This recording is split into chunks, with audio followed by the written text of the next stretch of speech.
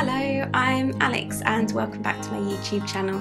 This is a place where I talk about what I've been making each month, what I've been knitting and sewing, and I'm going to put my cup of tea down and start by sharing what I'm wearing. It's quite warm since I've been getting ready for the podcast, and I probably don't need this shawl on anymore, but um, so I'll take this off. It's the Pebble Beach shawl by Helen Stewart of Curious Handmade, and I knit this using the Woolly Mammoth fibres. I think it's her BFL Masham 4 ply base, but I don't remember the colour. It's um, a shawl, I've actually knit this twice, but it's perfect if you just want something small to go around your neck if you're wearing something like this, like a v-neck, or you've got a sweater with a low back. I really like the bigger shawls. I know it's much more trendy to knit these huge, great big shawls, but I just find them a bit overwhelming if I'm actually busy doing something wearing a shawl like that. So I tend to use those more if I'm going out or if I'm actually just snuggled on the sofa, almost like blanket style. I'll wear one of my bigger shawls, but just around the house, I actually find I gravitate to these little single skein shawls, which were really popular when I started knitting. And this is a really simple eyelet lace shawl with, I think you would call that a picot bind off. I love the crescent shape. It sits really nicely around the neck and yeah, it's just perfect if you want something to keep you a little bit cozy around the neck. So I'll pop that to one side because I don't feel that I need that on and I'll show you my sweater because I finished my Ursina sweater. If you have been following me on Instagram, you'll have seen the photos of this already, but I'll stand up so you can get a better look. It's knit using Wool of the Andes in the Merlot Heather colourway. Stand a little bit further back. So it has this really nice um, sort of V detail in the front and that also carries under the arms. So you've got that in the side seam, on the raglan seam and you have a sort of spine and it goes into the same triangle shape at the back. So it's a really comfy, cozy sweater. I've knit mine on the looser side, so I think she says you can go up to six inches of positive ease. So I think this actually turned out to be about seven inches of positive ease, but it's a really great size and shape for me. I find it cozy and comfortable. I made some modifications to the sleeves because last time when I was speaking to you, I think I'd realised that the sleeves in the pattern were written to be about 18 inches long, which was way too long for me. I'm very petite, and when I measured some of my other sweaters, I was I think about 12 or 13 inch sleeves were about what I had. So I had a very, very wide cuff just stopping the sleeve at the point where it hit my wrist. So I realised that wasn't quite right, and I actually ripped back the whole of the sleeve and I decided to decrease to the sleeve count that Jacqueline gave for the sort of wrist point where you'd cast off. And I just did the decreases much faster and I think I did them over about like 70 75 rows something like that at my gauge. That got me a 12 inch sleeve and I put a little I'm not sure if it will show up if I put it in my face it might but I've done a one by one rib just for three rows to finish the cuffs because in the pattern you just bind off and I preferred the look of just having a little bit of ribbing. So I just put three rounds of twisted rib and I think it looks really neat. So I hope you like it too.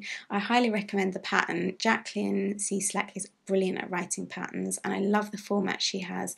She does a printable version and you plug in all of the numbers that she gives in the full pattern. So you put in the specific row counts or um, stitch counts for your exact size that you pull out of the pattern and you plug it into all the little spaces that she's left in the printable version. So you can print it out, keep it in your project bag, and you're just following the pattern that's just written for your exact size.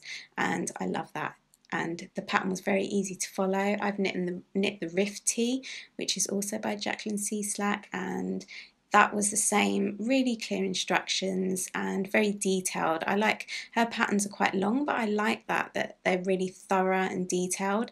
You don't need to try and condense them to go in a magazine or in a book. You can, when it's a PDF pattern, just put as much detail and be as clear as you need to be. So I love that. So really happy with that. Happy with the yarn. I have worn this loads. It's starting to peel a little bit like under the sleeves. I don't know if it would show on camera, but nothing that a little debobble won't solve.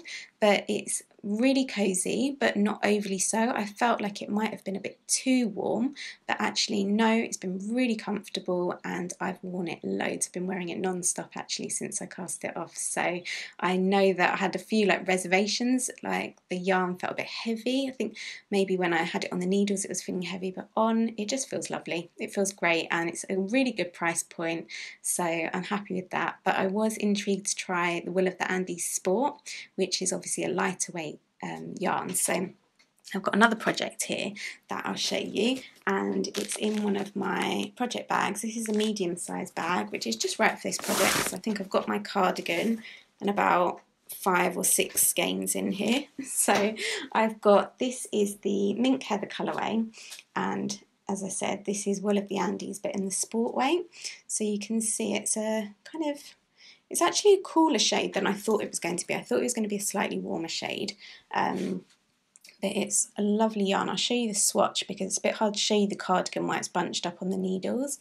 But I'm actually knitting it at a slightly different gauge to what I what is written in the pattern. So I've got about 19 stitches per four inches on 4.5 millimeter needles and I just love this fabric. I was playing around trying to get a closer gauge to the pattern. I'm not sure if I've actually said the pattern name. It's the Field Cardigan by Hayley Smedley of Ozetta and yeah the pattern she has actually a couple of field cardigans a similar style but different weights and I wasn't getting gauge for either of those and I just decided that I'm going to go with the fabric that I like, which is the beauty of knitting. You can tweak things to fit what you want to do. So I'm knitting a slightly different size. I'm going to knit the extra small and with my calculations I think I will get closer to the medium finished size which would be a great fit for me. So I'm doing that. I'll try and show you a little bit. Um, let me try and show you this size. Um, so it has a slightly sort of v-neck finish and as you can see it's got a knitted on um, what would you call this, the button band, knitted on button band and collar. You can see I've done the first buttonhole there. So I don't need to go around and pick up when I've finished knitting the body. The only little bit finishing there will be is this here. It's a really interesting construction actually. I haven't knit a cardigan like this before. It was interesting doing the um, sleeves, uh, yeah, or the shoulder I should say. But it's to be a really nice cozy cardigan. Even in the lighter sport weight, I can just feel this yarn just feels so cozy. It's, I think it's, um, said this before, I think it's Peruvian wool. I think it's just 100% wool, so it has that really nice crisp sort of woolly feel. It's not a superwash yarn, so it has that slight toothiness, but I find it next to skin soft. I think it's a really great yarn if you like those sort of woolly wools. So I'm really pleased with how it's coming out and I'm sorry you can't see it very clearly on the needles. I'm going to put the links to the pattern so you can check it out and see what it looks like. It looks like a very cool kind of cardigan. It's definitely a cardigan that I was pinning lots on Pinterest where it's just quite a boxy, straight fit. It's fairly cropped, it's not super long, and yeah, it just has kind of a a gradual V with this nice kind of chunky button band. Just has three buttons. I think I'm going to do wood buttons, and yeah, it's just a very nice kind of cardigan that you can throw on with this t-shirt and jeans. So I'm pleased with how that's coming out. So I think the next thing I'll show you is my mitts. Let's talk about the mitts. So last time I spoke to you I was knitting the Rebel mitts and I had to go back and do a little bit of a reknit on the thumb and I'd gone to try these on my nephew and just found that the thumb hole was a little bit hard to try and get his fingers and thumbs um, around so I decided to just go up one stitch. I actually tried doing more stitch and that was way too big. All it needed was one extra stitch so I did um, picked up six stitches either side of the thumb and it's a great fit now. I can actually fit my little finger in whereas before it was just too tight. I couldn't kind of manage to maneuver the thumb very easily onto his thumb. If you've tried putting gloves or mittens on a child that's under two years old, you'll know it's quite difficult to maneuver their fingers anyway. So to try and get a thumb in quite a tight thumb hole was just too tricky. I wanted to make it super easy so that they'd be used every day because if they're not easy to put on, I know they won't get used. So I think they came out really cute. They're knit in Cascade Heritage in the white and the think they call it mustard. It doesn't look very mustard. To me, it's a very bright yellow, and I think it's really fun for children. His um, puddle suit is green, and it's this sort of tone of green as well, so it will match really nicely. And I think they're really cute. It's a pattern by Hannalisa Haferkamp in the Making Stories Kids collection, which was really kindly gifted to me. Um, I think it was sometime last year. They released the collection as a digital version, but I've seen that it's actually in print now. So if you have kids in your life, it's a really nice collection. Love these mitts. They've got some great hats. There's like a blanket. I think there's, oh, there's a lovely sort of cowl sweaters. It's a really great all round collection for kids, and I think they have a really nice modern style. I love the yarns and the colours they use. It's like very inspirational book when you're flicking through. So if that's something you're interested in, I'll pop a link to that below as well. But these are going to go in his advent calendar, so that's why I've still got them, even though I showed these to you quite a while ago and I said that I might have left them with him, but once I tried them on and I knew I had to reknit them, I came back and thought I'm going to put these in his advent calendar because it would be just the right size. So I'm going to pop that in the pocket, and as I'm talking about advent calendar, I'll show you I'm going to put some of these little mice. This is um, by Ann Wood, and it's called the Very Nice Mouse. Very Nice Mice, I think it is. Free pattern Really simple, lovely to knit, lovely to sew.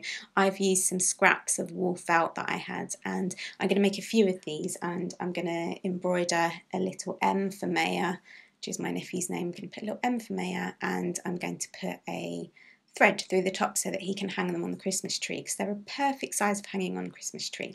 So that's my plan for those. Going to whip up a few of those um, and put them in his calendar as well. While I talked about stitching, I'll show you I finished my sweep in the garden. This was a Barbara Ana design and I really love how this turned out. I had it displayed um, sort of through the autumn. I've had it with a little display of pumpkins and pine cones and yeah, she looked so cute and autumnal. It was a really nice little display and yeah, I feel a bit sad and don't really want to take her down yet. So she's still in with some of the wintry bits, but I'm going to switch her out for my little Christmas tree cross stitch that you probably saw last year. I'm sure I would have showed that on here. I've got a little Christmas tree that I stitched, which is, I think that was Alicia Paulson design. i have to have a look. She used to go out by the name Posy Gets Cozy, I think was her name. But that was a pattern I've had in my stash for a long time. So yeah, those are the little stitchy bits I've got. Next I'm going to show you, exciting, is new socks. And these are really exciting socks because I'm actually doing some Christmas gift kits this year. So I've got some gift boxes and one of the gift sets you're going to get is got this lovely it's more of a square shape so this is a small project sack which is not a size that I usually have in all of my collections, but it's perfect for this. So as you can see, I've got my whole sock project in there. I'll just give you as an example. And you can see you've got a bit more room in there. So you could fit up to three skeins of fingering weight yarn, but I've just got my sock project in there. And yes, I'm knitting the first snow socks. So as part of the gift box, you'll get your project bag, which has my little logo on the back. You will get the first snow sock pattern, which is by Olivia of This Handmade Life. And this is a beautiful pattern. I'll talk to you more about that just in a second. I'll just go through the other bits. You will get a DPN cozy. I put my Blue Moon pattern and it's stunning on all of the designs. I love it. It's so, I'm so excited to be doing this on more things than just my project bag because it really does look so lovely on like the lavender sachets and the needle books. But yeah, it looks really lovely on the DPN cozy.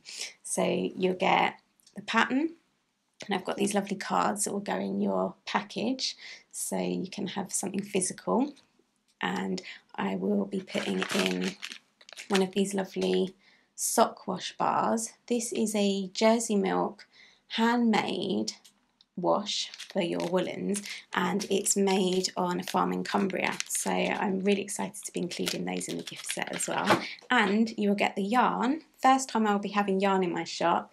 The Fibre Co. Amble and you'll have a skein of this in the white heather colourway so I'm really excited and this is just one of three options. So let me tell you about the socks because I've finished one of the socks already and I hope it shows up on camera. These are just so squishy. The yarn has a slight halo and it's a really interesting yarn from the Fibre Company.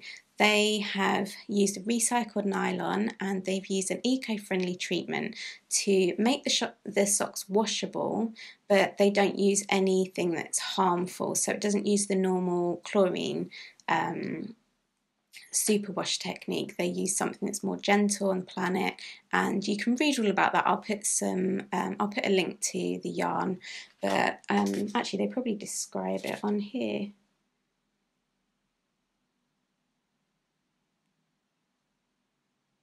Yeah, they call it an eco-friendly anti-shrinkage easy wash treatment.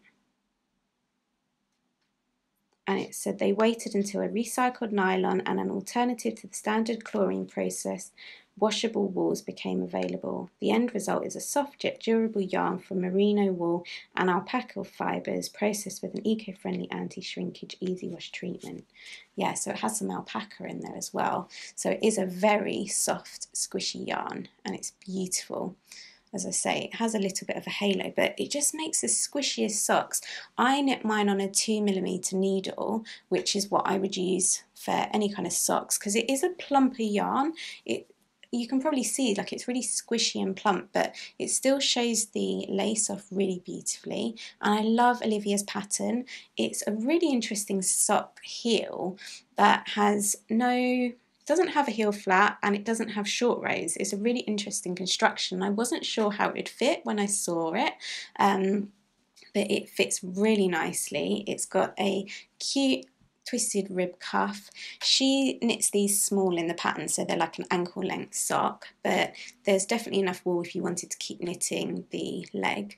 In the pattern, you only need 50 grams to knit these socks this size. But I can't tell you how much I love these socks. I'm so happy to be offering it as a gift box in my shop. So I hope that you'll want to knit them as well, I think this would be the perfect Christmas Eve cast on. I'm sure if you watch other podcasts, you'll have heard people talk about the Christmas Eve cast on that I think Danny of Little Bobbins started several years ago, where on the 24th of December, knitters all over the world cozy up and cast on a new pair of socks in the evening. So I just thought this would be perfect. They're called the First Snow socks, so it's got that lovely wintry feel. And I just love the idea of being able to share this wool with you and put together a lovely package with my bags. And I'm going to make it so it's a lovely treat to open as well. I'm going to wrap them all beautifully and yeah it's really nice to be able to offer the wool wash and the yarn all together and I think you're going to really enjoy knitting those socks. So I'll share with you the other options. So as well as this um, kit, you'll have the option to buy a sock sack and DPN cozy without the without the yarn, but you will still get the pattern. So I'm going to include the pattern. So you'll get the pattern, sock sack and DPN cozy. So if you've already got some lovely wool in your stash, I'm sure everyone has got a stash full of fingering weight yarn that would be perfect to knit the first Snow socks. You can just treat yourself to one of these smaller kits and it will be a lovely treat to have for a new pair of socks so you can have one of those and then the more deluxe version is going to include one of my Blue Moon project bags. So you'll get the drawstring bag, you'll get the yarn, you will get the wool wash bar, and you'll also get one of the lavender sachets. So that's the other exciting thing is I've put my um, I've put my design from the Blooming collection onto lavender sachets and I've done it with this really nice dark blue fabric which I haven't used before in the shop. So I'm excited to have those and yeah, I think you're to just love knitting these socks as much as I do. It's a really simple pattern and the there's one one row that has a cable on it, a cable twist, and in the pattern she suggests using a cable needle as you would normally, but I found that it's a really simple way to do this. I'll give you a little tip is when I do um, basically all I do is I skip, miss the first stitch on the needle so I've got my stitches on my left hand needle and when I get to the point when I need to do the cable I don't knit the first stitch I knit into the back of the second stitch then knit into the front of the first stitch and take them both off the needle. And then when I'm doing the cross the other way I knit into I miss that first stitch. I knit into the second stitch but through through the front. Then I knit the first stitch and take them both off the needle. And it gives that twist that you need for the cable. And yeah it's just a really really easy way of doing the cable without needing to use the cable needle. Because you're knitting the second stitch it means that you've got that first stitch either at the front or the back and it mimics the same idea as using the cable needle. So that's a little tip if you don't want to have to faff around with cable needle. But yeah super excited about that. The other things I have in the shop so all of these bits will be available separately if you don't want to buy the whole gift box although I don't know why. Why you wouldn't want the whole gift box because who doesn't want to knit these beautiful socks. But if you don't, all these bits will be available separately. I'm also going to have the notions pouches. So these are perfect for notions. I've got the little needle books as well. So you can put your pins and needles if you're into sewing. This is great size just for putting all your snips and tape measures and yeah, all those lovely bits. So I'll have those in as well. But yeah, I'm really excited. I've been wearing my socks. So if you remember a few episodes, I knit another pair of socks with the Fibre Co. Amble in like a brown shade. And I think that was also, I think that was my Cozy Autumn socks. I'm sure that was another hand, this Handmade Life pattern. And they've been wearing so well. Last weekend I went on a long walk with my wellies on and I thought this would be a great test because I wanted to give them a proper test and see how they held up because I'd just been wearing them around the house really. And I was so surprised there was hardly anywhere.